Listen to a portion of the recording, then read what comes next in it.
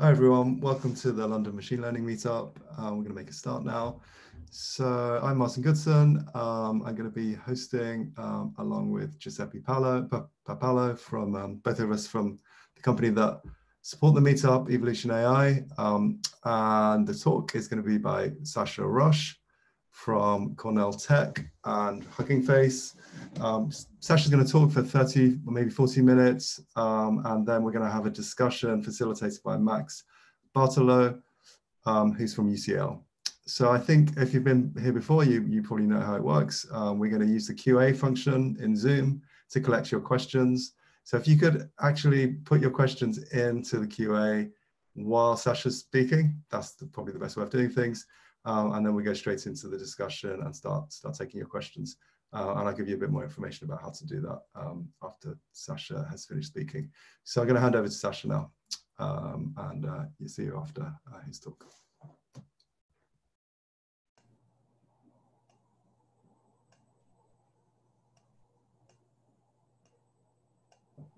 Um, hi, everyone. Uh, my name is Sasha Rush. Um, Today I'm going to talk about uh, work we've been doing in my research group on deep probabilistic structure in NLP, and particularly talk about how this relates to uh, a function I think everyone knows and loves, which is the softmax function.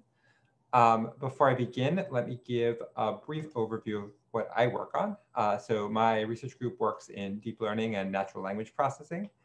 Um, I, uh, I guess, uh, kind of split between both of those communities. Uh, we mainly publish in NLP conferences, but I was um, the general chair last year for ICLR, which is a conference in deep learning. Uh, deep learning has been obviously incredibly influential in natural language processing, so it's an area we're all very interested in. Um, my past work has looked into methods for summarizing text, for character-based uh, models, and for efficient natural language processing um, efficient NLP is an area I'm very interested in, and I know an area that um, many people in industry are interested in. Um, and uh, recently I've been doing um, a lot of work with Hugging Face, uh, where I work uh, as, um, I guess, like research director, although it's a startup, so it's pretty small. Um, and uh, there we do a lot of work on efficient transformer modeling and other aspects of making transformer easy and fun to utilize. Um, and uh, I guess I, I work there, but I'm also a heavy user of the product. So uh, I, I, come with both hats uh, in, in that regard.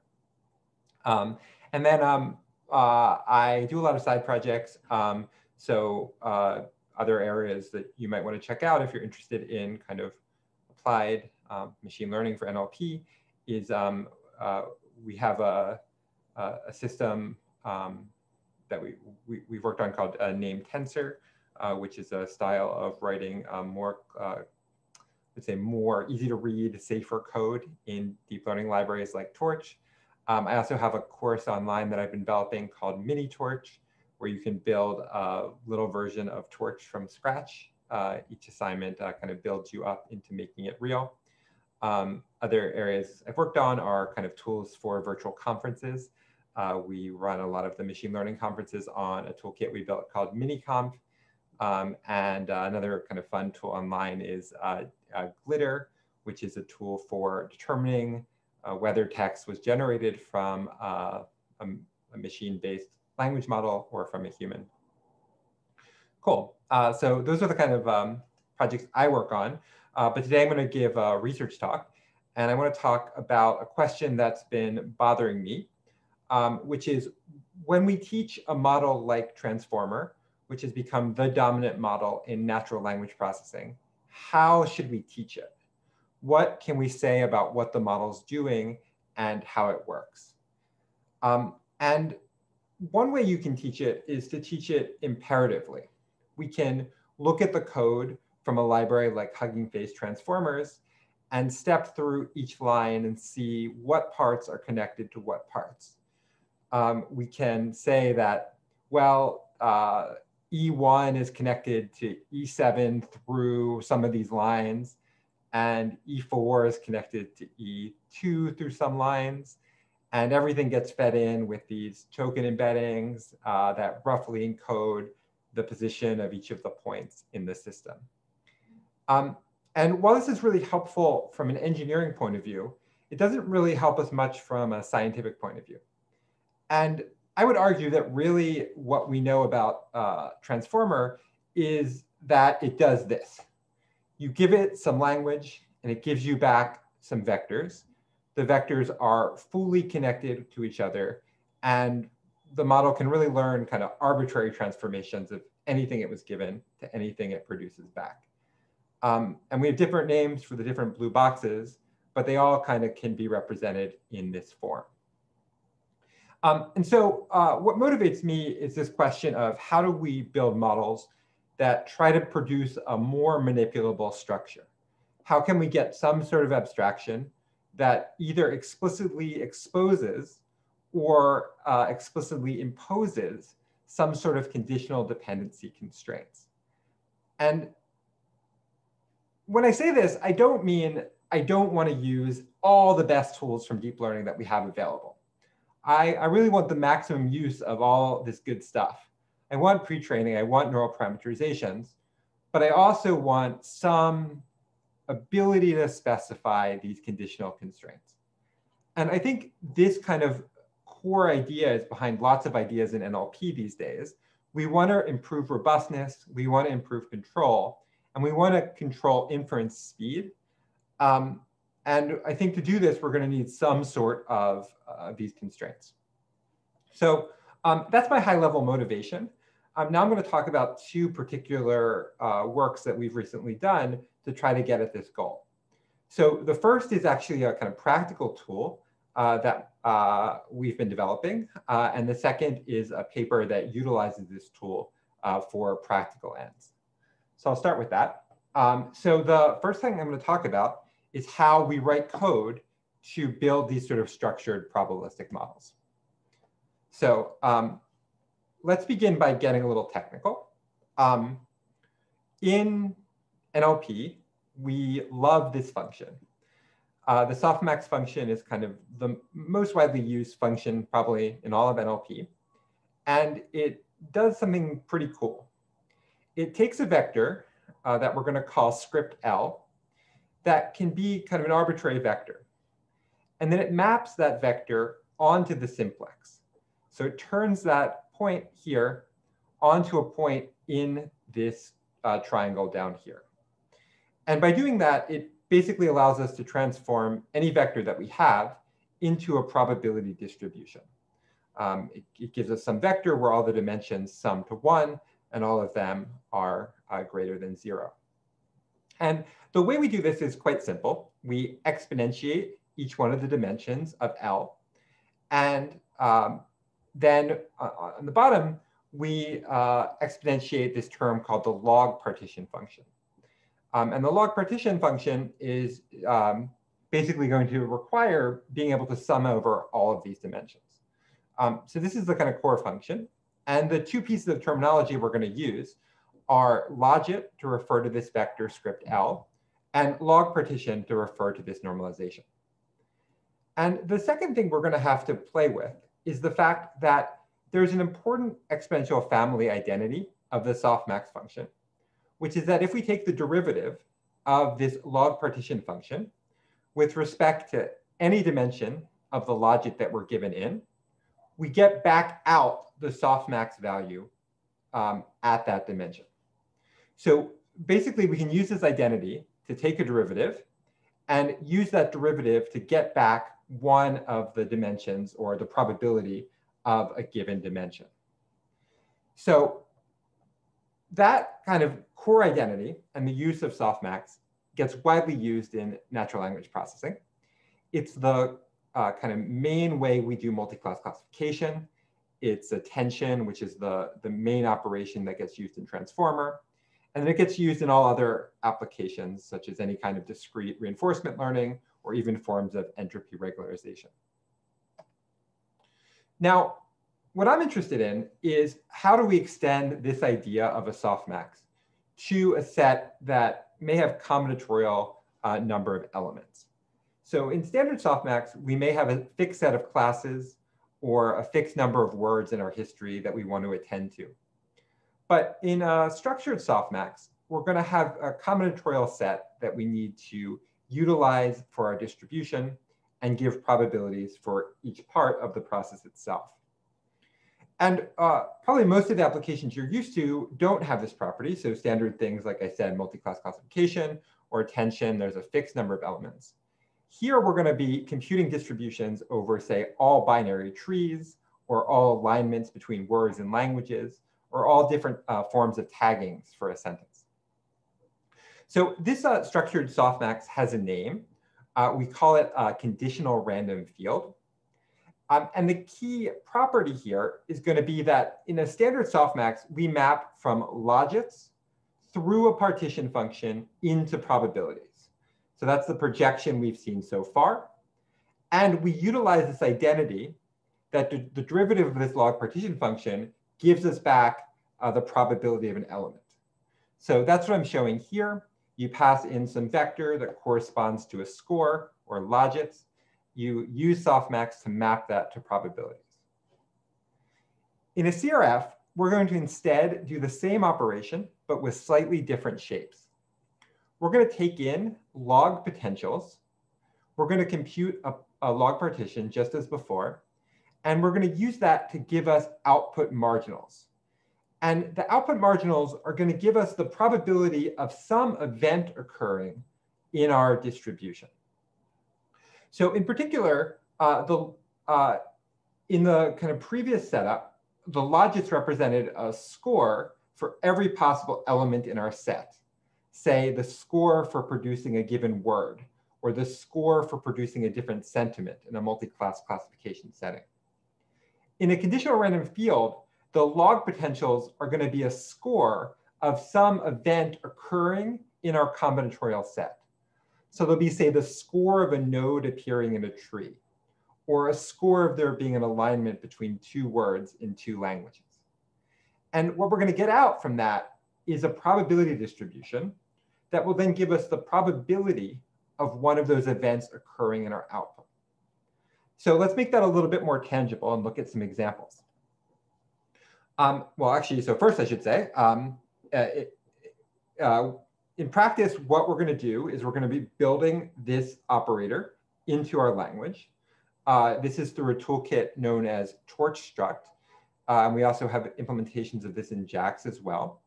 Um, and the idea is going to be to build in a CRF function into our code base uh, that allows us to compute these terms in the same way that you would compute a softmax.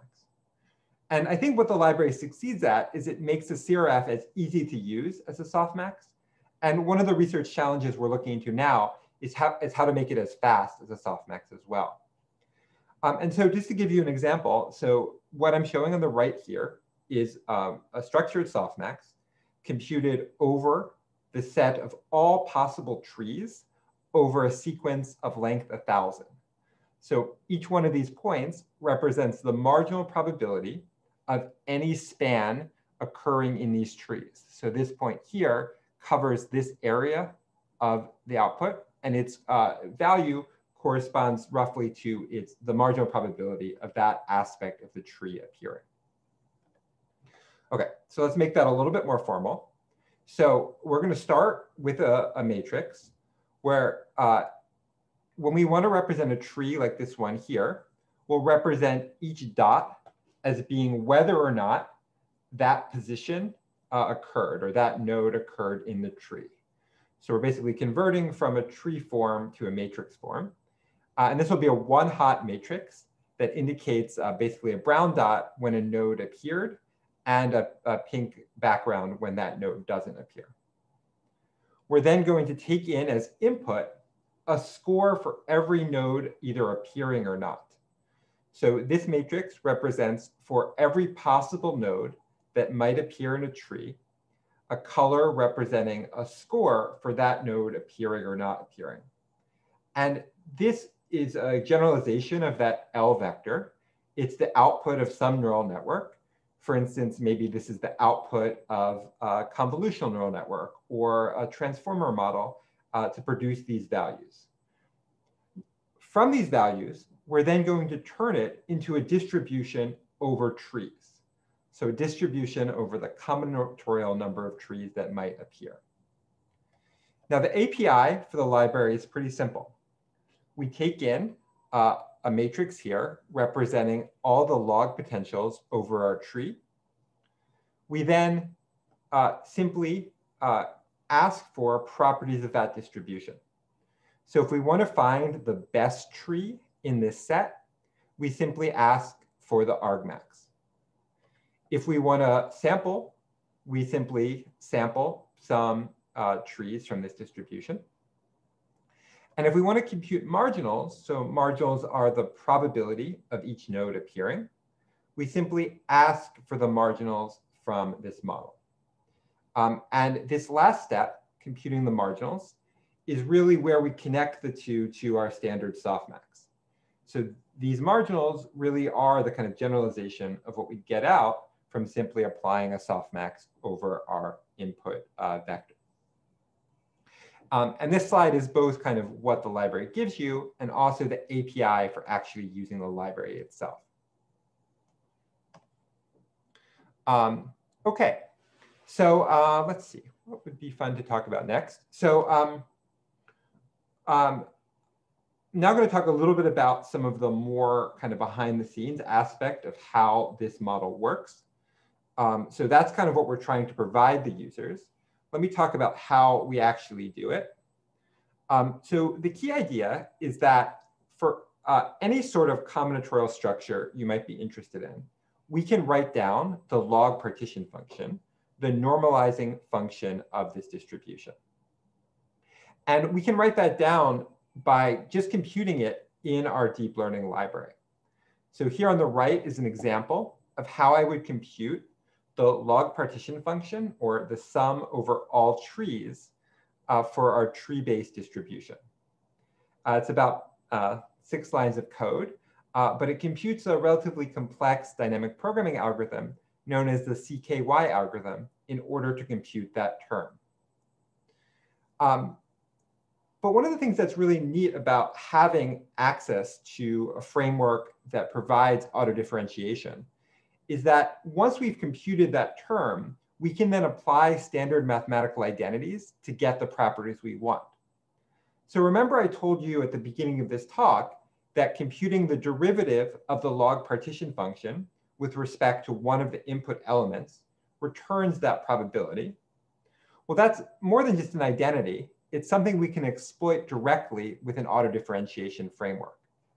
So if I want the marginals, if I want these terms here, all I have to do is sum up the scores of all possible trees under these log potentials, and then call dot backwards or dot grad. That automatically gives me the marginals that I want. So really, all this code here is doing is giving us the kind of full access to this discrete distribution. Now we can take this idea one step further, which is that if we replace what this A function means. Uh, and we can do that by replacing some of the core operators that we compute in that sum. So in particular, switching from a plus and a times operator to a plus and a max operator, we can then use the same code to compute the score of the highest scoring sequence. And running auto differentiation on the score of the highest scoring sequence gives us the argmax sequence itself. So we actually get out the argmax sequence by calling dot backwards with a slight variant of that same code. And the same trick, in fact, works for getting samples from the model itself. So basically everything on this slide was just one piece of code to compute our log partition, and then three different ways of computing uh, our backward or our, our, gradient term of that uh, function. And so all that gets done with just a single piece of code in the library. So let me um, kind of summarize uh, what the library provides. Um, we have implementations for the log partition function A for many different types of structured distributions.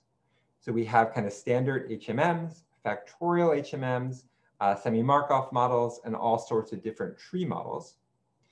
And then each one of these models also works with different replacements of the log partition function. So for instance, let's consider alignment. So this is kind of a classic approach for biological sequence alignment or for aligning different sound. If I replace the log partition function for alignment with six different variants, then the derivatives I compute look like the following six outputs. So marginals gives us the rough probability of aligning each of the different positions. Argmax gives us the best alignment. Sampling produces a sampled alignment. Uh, multi-sample allows us to get many samples in the same code. Uh, Kmax produces the uh, K highest scoring alignments.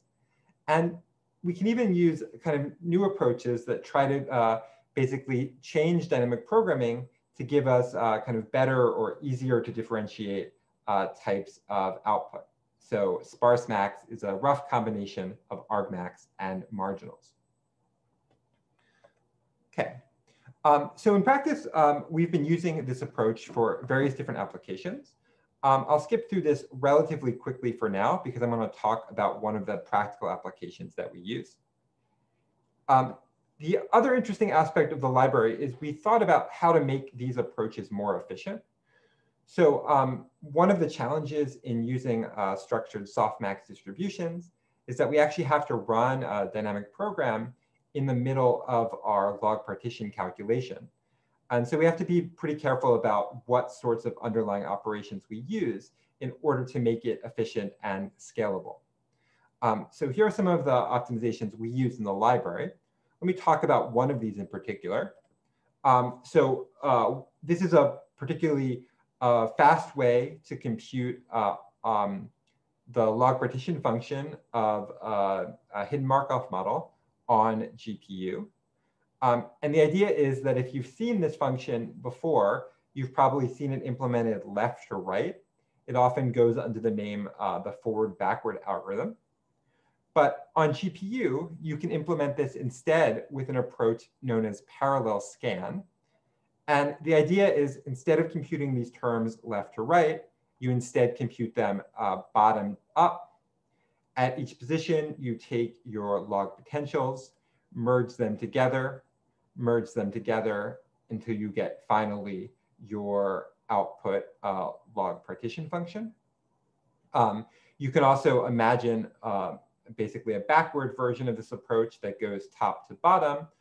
But in our framework, you don't actually ever need to implement that because once you have this term at the top, you just use auto differentiation to spread back down the tree and distribute the marginals. Um, so this is a really nice approach for computing uh, this term in an environment that you can compute terms in parallel. And in particular on GPU, you get a very nice implementation like the one here on the right of the slide. Cool. Um, so that's our library. Uh, you can get it and play with it. Uh, it's uh, super easy to install. So uh, here's roughly uh, how it works. You can just install it uh, from our GitHub. you can start it up and you can start building and playing with some of the different libraries uh, directly. So here are trees, and here are sequences. So uh, next, I'd like to talk about one application that we utilize these approaches um, in. Uh, and this is a work known as the Markov transformer. Uh, it's written by my student, uh, Yuntian Deng. So the research question here is uh, whether we can speed up decoding of realistic uh, deep learning based models by uh, controlling the dependency structure. So let me give a little bit of motivation for this task. So the task we're interested in is neural machine translation. Uh, we're going to be given a source sentence and we're going to want to produce a target translation.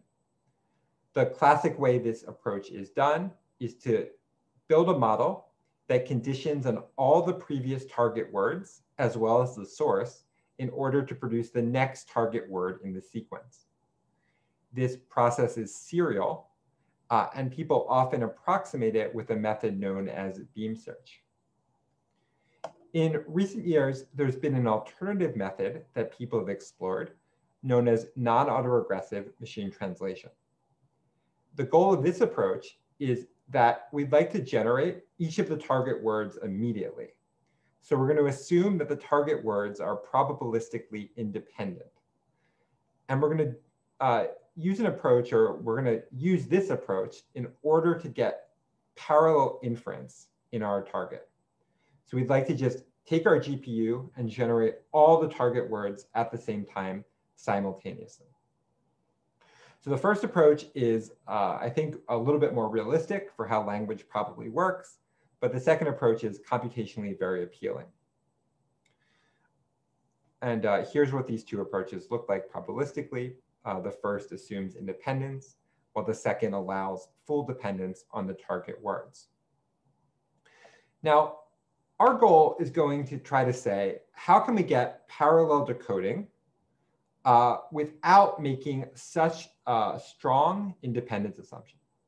So we're going to assume that some of our target words are dependent on uh, past words, um, but that they're not dependent on all the previous words. And to do this, we're going to build up a probabilistic model. We're going to show how to do inference in this model. And finally, we're going to use the trick I just showed you in order to do fast decoding. So let's look at how that works. So the first idea is going to be a method for converting a fully uh, dependent translation model into a model that has explicit dependencies. So um, in particular, we're going to take a transformer model that normally attends to all the previous words. So this is a model that looks like the one we saw at the beginning of this talk, but is broken up by these explicit green barriers that prevent the model from intending beyond a specific point. Now to do this, we don't have to change any of the internal code of our model. We simply put in masks that prevent the model from looking past these green barriers. And in order to start this process, we simply uh, sample uniformly where the barriers begin in each sentence.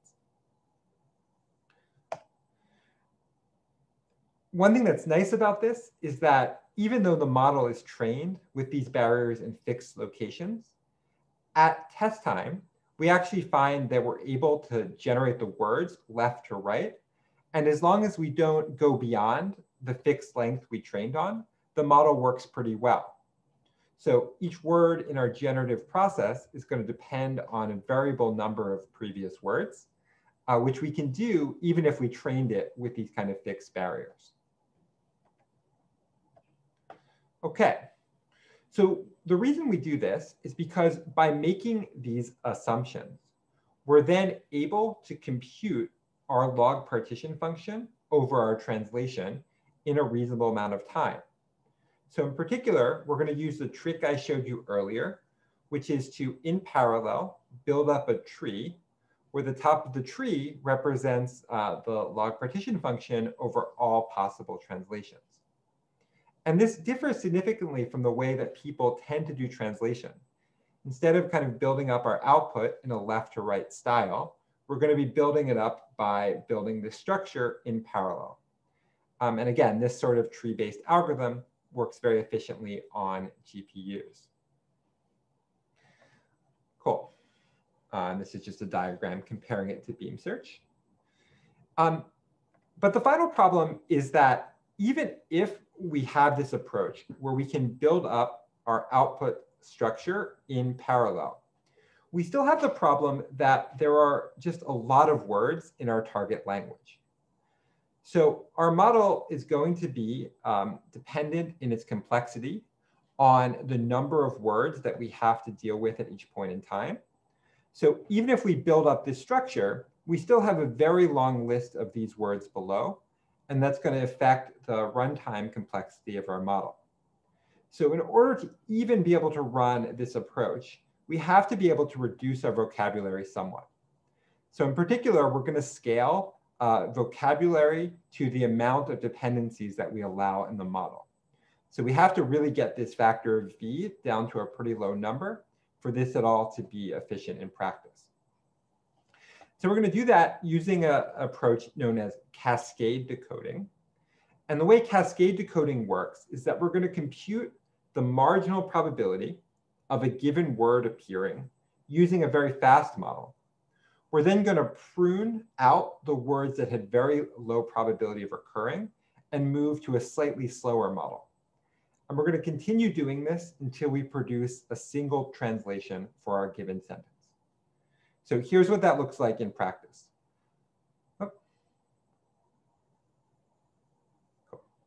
Um, okay, so I'm going to play this a couple times. So the idea is we first start with all of the possible words. And we have to consider all sequence of those words to use them. We then prune to slightly fewer words, rescore, prune, rescore. So the first step in time, we're basically using a very simple uh, unigram model. We're scoring the likelihood of each word occurring in the unigram model. We're then moving to a bigram model, scoring each word, pruning, and then moving on to a trigram model. So as we increase the probabilistic dependencies in this approach, we're going to simultaneously be reducing the number of words that we are considering. In order to do this pruning, we're going to be using the marginalization approach, which I discussed in the first section. All of these calculations get calculated by running one step forward of the transformer and then running our tree-based marginalization in order to get the new scores.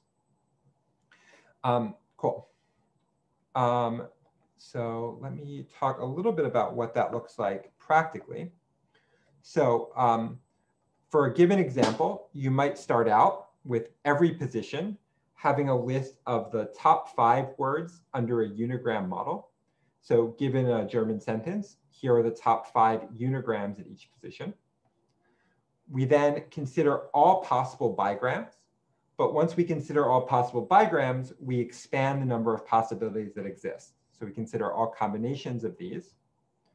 But then we prune those down to the five most likely bigrams under our model. So we basically get five at each position like this. Here, uh, uh, slash S is end of sentence, and the dash means that it's just padding because it's after the end of a sentence token.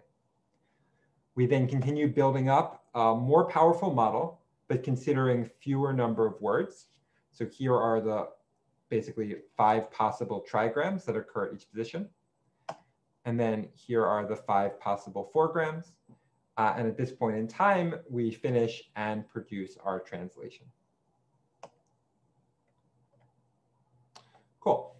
Um, so let's see what my time is, a couple more minutes. Um, so let me talk a little bit about some of the results of this approach. So it, for this approach, we're doing translation and recall that our baseline models are going to be non-autoregressive translation models. So these are other approaches that try to take in a sentence and spit out a translation directly. So some of these approaches are models that use um, uh, flows, models that try to use refinement, uh, some models that try to use RL or other approaches to make this work. Um, and our experiments were done on a, a, relatively small translation data set, IWSLT, and then two larger data sets, WMT. Uh, our code is released and available, and it's built atop of the awesome uh, FAIRseq translation library. One other point that's interesting is that for all these approaches, there are two ways to do it. One is to just train directly on the data set. The other is to use a, an approach known as sequence distillation, where you first train a, a, a strong translation model without these constraints, and you use it to regenerate your training data. So you literally run it on your training data and have it spit out its translations. And then you train your faster model on that output. Uh, and, it turns out that doing that actually gives a uniform boost across many of these different models and is basically for free uh, a way to make your model better. Cool. So just to give you a sense, uh, so in IWSLT, uh, the best transformer model gets around here, about 34. The baseline approach we compared to is all the way down here at about 25. Uh, this is all measured in terms of BLEU score, which is the standard metric for translation. Um, and we're able to get about uh, four times speed up without losing a kind of significant amount from our, our baseline model. Uh, so the way we produce different stars is based on the number of steps we run the model for. So uh, this first star, it basically only runs with a unigram model, whereas these later stars consider more of the probabilistic dependencies between words. Um, and then, as I said, if we instead apply the same approach, but we regenerate our training data with uh, a very strong model, then all of these stars go up higher. You can get a much larger speed up, uh, basically just by changing your training process. Cool. Um, and results are a little less strong on some of the uh, bigger models, uh, or sorry, bigger data sets. Um, uh, it turns out that it's a slightly harder problem uh, to uh, kind of generate in this in this parallel style. Um, but our model is um, stronger than a lot of baselines. Um, it can sometimes be hard to compare speed because these run on slightly different uh, computational setups. Um, this one method, uh, this green dot here, seems to be slightly better. That's an RL-based method that came out of FAIR um, but we weren't able to kind of compare directly apples to apples uh, with that approach. Cool. Um, let me um, talk a little bit about some of the, the interesting properties of this approach. So one thing that's interesting about using a, a structured approach is that we're actually able to explore many more examples. So uh, these graphs show, on average, how many different possible translations our model considered. Um, so uh, there's a kind of trade-off between looking, uh, kind of having a richer model versus exploring fewer examples. So this model to the right is the kind of standard way people do translation. And that method works by basically looking at uh, only 100 possible uh, outputs, but building them up left to right with a very strong uh, and global model. Um, whereas our approaches, because they kind of build up these, um, these squares uh, from a bottom-up uh, fashion, end up being able to explore many different possible translations, uh, even though they, they use less of the, the history in order to score them. Uh, so this uh, graph here corresponds to basically the number of squares that end up getting explored in, um, in this final step of this model So the number of uh, number of examples that get to that point. Um, cool. Um, and then finally, you might ask how it is that a model that doesn't have any dependencies between output words is able to produce translations at all. And uh, one issue that, that seems obvious is like, how does it know where to put a versus an in English.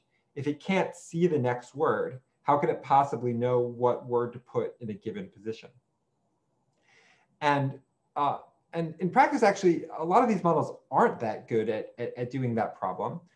One issue they, they often have is that they repeat a lot of words. So if you have a model that only looks at unigrams, so this is a model that's fully non-autoregressive, um, it it's only producing about 80% unique words, which means that there's about 20% repeats uh, in the model itself. Um, oh, sorry, I have the graph backwards. Uh, this is a model that, oh, sorry, after, sorry. This, so this is the unigram model. So the, the unigram model basically has 50% non-unique words.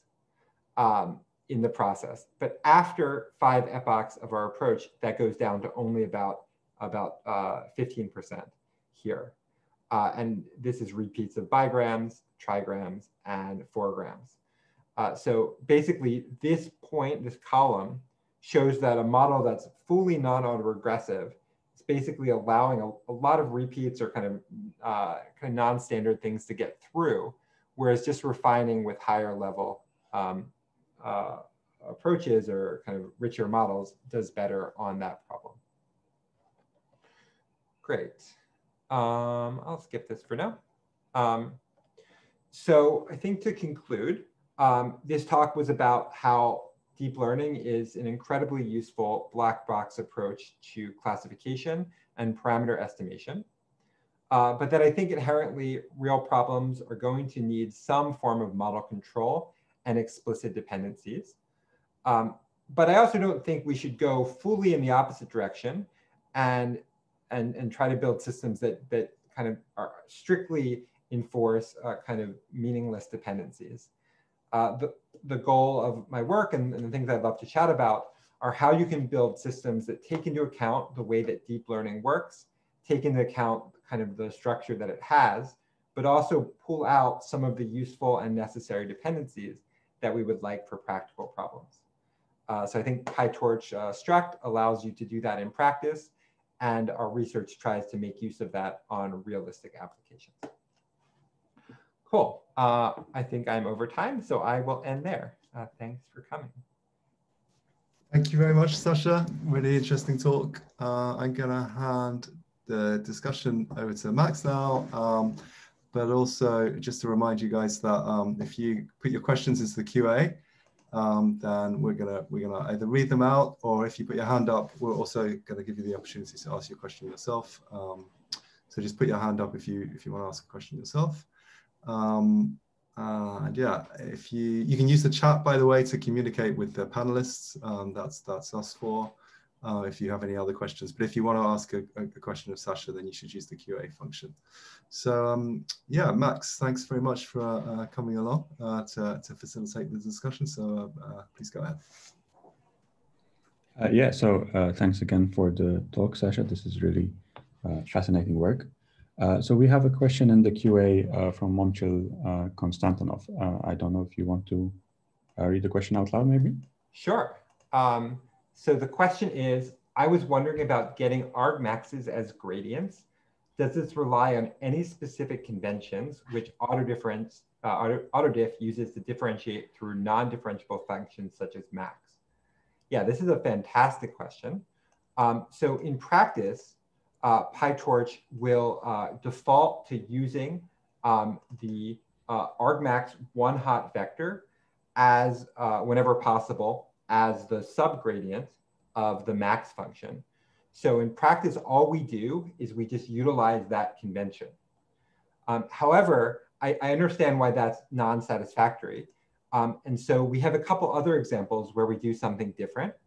So for instance, to compute samples, we're going to basically use the same code, but just define a different backward function for uh, the way to compute the chain rule for our softmax.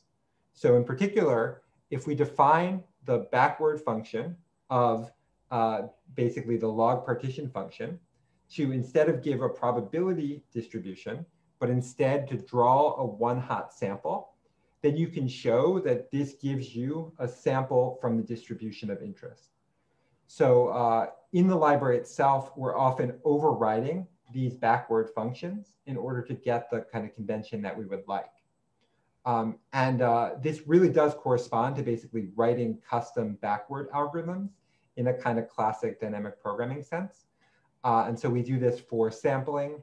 And then we also have methods that do this uh, as a way of computing kind of Gumbel softmax style uh, outputs from these structured distributions. Awesome. Uh, yeah, so if, if anyone else has more questions, feel free to, uh, to add them to the Q&A. Uh, in the meantime, I have a, a couple of questions. Um, I was just wondering in terms of uh, the computational efficiency and kind of how, how these approaches scale uh, in terms of the, the, in terms of torch struct. Uh, I'm just wondering if that's in any way dependent on the on the structure of the problem. Say you, if you wanted to apply this to say uh, summarization where you might have longer range dependencies than machine translation, uh, how would that affect things? Yeah, it's a great question. So um, all of these algorithms have different computational complexity. Um, and uh, it will depend on which algorithm you utilize. Um, so in the torch struct paper, we have a table that um, uh, let's see, um, that goes through the computational complexity of each of the different approaches. So uh, here are all the different approaches and roughly um, their practical speed and their uh, scaling. So uh, algorithms like parsing are going to scale uh, pretty poorly with length, um, whereas algorithms like uh, some of the sequence algorithms will scale uh, pretty efficiently. Um, so there are, there are two goals that I have. One is finding kind of problems where this uh, is already pretty efficient. So in the problem I described for translation, we found that the inference was actually trivial. It was a very small amount of the time compared to transformer. So the kind of trade-off between inference time versus the transformer itself, it didn't make a big deal.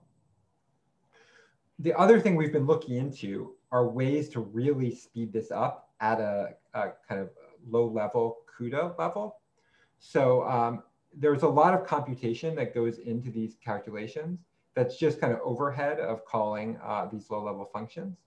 But we think with kind of, uh, I think these sort of algorithms are much more able to be uh, kind of compiled or, or um, basically JITted. So kind of new approaches like uh, JAX and XLA, which are kind of compilers for arbitrary mathematical code. Um, let's see, an example here. Um,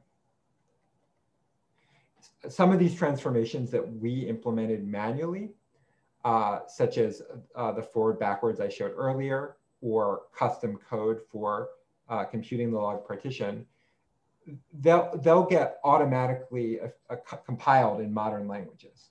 So I think some of the compilers people are building will make these a lot faster to run in practice. Awesome. Um, I mean, following up on that, uh, traditionally structured prediction approaches have been quite quite difficult to, to implement, and this library seems to make it a lot more accessible.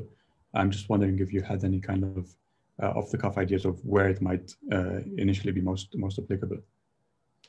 Yeah, it's a good question. I mean, I, um, I, I can talk about some of the applications we've done. Um, I can also talk about applications others have done. So uh, one work that we recently uh, produced that I thought was quite interesting was we built a giant hidden Markov model. So uh, there's a lot of talk about how hidden Markov models are much worse than recurrent neural networks at sequence prediction. But our theory was that they're just much smaller. So we thought, how could we go about building the largest hidden Markov model that we could? So we built a model with 64,000 states uh, and trained it with an embedding-based parameterization. Uh, and we found that while we couldn't beat the kind of best LSTMs, we did much better by like hundreds of perplexity points than anyone had on this task before. Uh, so we thought that was a kind of fun example. Uh, another example is we've been very interested in unsupervised uh, grammar induction. Um, and um, this is, a, I guess, less of a practical problem, but the question is how from text you can discover the grammar of a language. Uh, and we built a system using uh, torch struct and uh, VAE that lets you discover uh, basically from scratch the hidden structure of, of language. Um, and recently there was a very interesting paper from Edinburgh that used the same uh, library to try to infer grammar from images. So it was kind of visually grounded uh, grammar induction, which I thought was quite interesting. Yeah. Awesome. Uh, we've got a question from uh, John Reed. Uh, John is asking, uh, I was wondering about when Sasha mentioned calculating the partition function. Isn't that impractical, impractical for combinatorial structures of any reasonable size? Yeah, so let me be, let me be really clear. Um, it would be impractical to sum up all of the trees directly. If we were assuming that any tree could have a, uh, its own personalized scoring function. In a conditional random field, we're going to assume that the scoring function factors into scores of each of the individual parts. So in particular, for trees, we're going to assume that we only have a score for every node and that the score of a tree is going to be the sum of the scores of each of the nodes. If we make that assumption, then we can use dynamic programming to get the sum over all trees. And in fact, this is the algorithm that does it. It sums over all trees because it assumes each of the scores factor into individual nodes. So this algorithm, uh, the CKY algorithm, gives us the log partition function in polynomial time. So similarly, uh, this approach here is a version of the forward backwards algorithm, or particularly the forward algorithm. And the forward algorithm is going to sum over uh, a Markov structure where we assume that there's some sort of either uh, bigram or trigram Markov structure in order to compute the exact log partition over that set. So the set has an exponential number of elements, but the sum of the probabilities is going to be computed in polynomial time. Okay, fantastic. Thanks, John, for the, the question. And again, any, any further questions, uh, please do add them to the Q&A. Um, in the meantime, I'll, i have a few more questions about the, the Markov transformers. Um, you mentioned the uh, sequence distillation uh, giving some, some performance improvements. I was wondering, it seems like the, the architecture isn't actually too different from uh, traditional pre-trained transformers. I was wondering if there was any way you could maybe uh, distill pre-trained language models into uh, Markov transformers and kind of uh, tap into the or access, uh, you know, what pre-trained language models have already maybe uh, learned. Yeah, I think that's a great question. Um, so I should make one distinction, which is that translation differs slightly from a pre-trained language model like GPT-2 because it is conditional. So you're conditioning on some source and producing some output. There are conditional uh, pre-trained models like BART and Pegasus, and those models have been very effective for some tasks like uh, summarization. They're a little less effective for translation, but there has been some work along those lines. Um, the question is, how can you distill a model like BART or Pegasus? Um, we have a paper about this actually. Um, let me see if I can find it. Uh, it's called, uh, let's see, uh, distilling pre-trained summarization. Um, great. So uh, this is on the arXiv and this is work that was done at Hugging Face. And in particular, this paper tries to get at this question of how to best distill these sort of sequence to sequence pre-trained models for practical use. So how can you take a model that's giant like Pegasus and use it for a given task? Um, I think the next step of this sort of work would be to distill it into a non-autoregressive form or distill it into a Markov transformer form. Uh, for now, we're still just figuring out the details of how to distill it to be small, to be useful in practice. But I think that would be a really nice next step. One thing that's nice about distillation is you don't just have to distill it to be small, you can distill it to have certain properties that you want. And if you're, if you're interested in distillation, I actually also just recorded a workshop talk on the history of these kind of distillation approaches, and I can post it in the, the chat. It's also on my, my Twitter if you're interested. Yeah, fantastic. Thanks. That would be, that would be great. Um, Okay, yeah. Um, again, feel free to uh, raise your hands, uh, post any questions in the in the Q and A. Um, the question actually, um, Max, for, for Sasha. You know, how, Sasha, how, how should we think? Uh, you know, obviously, you know, you're kind of leveraging in, in torch struct. You're, you're sort of using the uh, auto differentiation kind of uh, machinery to, to get these speed ups um, for, for things like HMM forward backward algorithms. How, how should we think about how, what kind of performance you get compared to some traditional, like very specialized tuned um, HMM toolkit? Um, what, what, what, what, kind of speed ups can we expect? Yeah, that's a great question. Um, so at the moment, I think I'm probably not beating, let's see. Uh, let me start from the beginning. So one aspect that's very neat about these approaches is that you get to utilize the GPU and hopefully in the future TPU. So a lot of the work on kind of customized HMMs is kind of targeting CPU. Um, the other aspect that's nice about this is you can embed your HMM within a neural network. So don't break any of the other auto differentiation framework. So you can just backprop through the HMM directly. So that lets you do some neat things. So you can kind of use an HMM like it was attention or things like that. In terms of practical speed up, HMM is a particularly interesting case because it has been so optimized. We, we've been doing some work recently of writing kind of just custom HMMs in CUDA, which I think would be kind of ideal. HMMs is like you really want to make fast. Uh, so I think that would be interesting.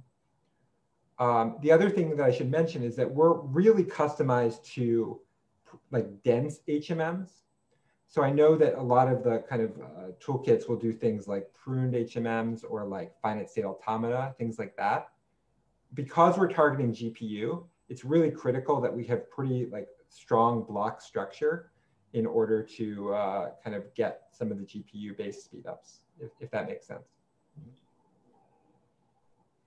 Thank you. So I didn't I didn't uh, give a direct answer. I guess I should do some more benchmarking to give you. uh, so we've got uh, a comment from John, uh, basically thanking you for the answer to the previous question and uh, saying, now I'm wondering what size sequences I could expect to run uh, Needleman Wunsch on. I don't know. Maybe you want to say anything. Yeah. Okay. Uh, okay. So Needleman Wunsch keeps me up at night. That is like the hardest algorithm to implement on GPU. Um, I've tried so hard. Um, I can get to like 400, 500, and I just start blowing up my GPUs. Um, again, I think if you're going to make assumptions about how far apart different things in Needleman Wunsch can be, like kind of gap assumptions, then you can do slightly better. But honestly, I'm not happy with how PyTorch works for Needleman Wunsch. Um, so uh, unfortunately, that's one that I don't have a great answer yet, but I hope to do better on in the future. I really want to backprop through that. And I think like, I don't, I don't know, but like when I read the, the like this DeepMind paper on like new AlphaFold, they they clearly are doing some sort of multi-sequence alignment. So I wonder if they have kind of toolkits for this in practice. I, I, it just seems really like it would be very neat to have. Um, let me, uh, I can uh, show you a little bit about what I've tried so far for Needleman Wunsch. So, um, um, so this is the, this is our, our repo of like CUDA structures to utilize. So particular, we, we kind of implemented a, like a banded sparse version for it to try to get some of the structure faster. So, so we use this as the way we do Needleman Wunsch, uh, and then you can try it out in the code um, to do it. Again, this is another algorithm that like has been super optimized, not on GPU by lots of toolkits. So I, I don't know exactly how they compare uh, in practice, but we can, well, I, I guess I'll just point, point you to the docs to try it out. So. Uh,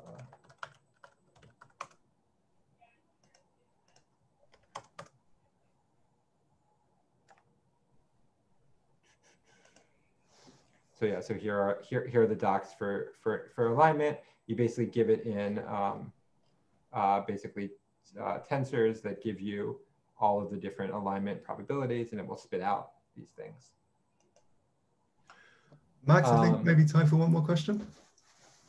Cool. Uh, sounds good. Uh, then let's go with uh, Jamong's question. Uh, so Jamong is asking, how could these methods be applied to regression problems, such as certain tasks in text-to-speech, where you output to a continuous space instead of performing classification? Um, it's a good question. Um, I don't have a great answer. Um, uh, I know that in text-to-speech, sometimes people use like um, RNN transformer, uh, RNN, yeah, I think they're called RNN transformers, but they're like FSA RNNs. That would be one interesting area. Uh, it would also be interesting to consider uh, algorithms like um, Kalman filters or kind of state space models that have some aspect of continuous space as well as um, discrete space. Um, so I think that would be an interesting area to explore. Um, another thing I've seen in text to speech is people have been recently trying more non-autoregressive approaches, uh, kind of similar approaches to what the Markov transformer tries, um, but um, but in a text-to-speech domain. So I think it'd be really interesting to try something like the Markov transformer, where it's a text-to-speech model where you only condition on a certain amount of the previous speech in order to produce uh, your output. Yeah, I think that's a really interesting area to explore. Thanks very much. Um, so yeah, so this just to let everyone know, this this talk, like all of our talks, are, uh, is recorded. Um, it will go up on our YouTube channel. So if you just search for London Machine Learning Meetup on YouTube, uh, and if you subscribe, then you're going to get to hear about when we uh, upload the new talks. Uh, and also, if you if you connect to me on Twitter um, at Martin Goodson, uh, you'll also find out. Uh, and yeah, thanks for coming along, and thank you so much, Sasha Rush. Max Bartolo, thank you so much for the for, for the talk and a really interesting discussion. And um, see you guys next time. Thanks a lot.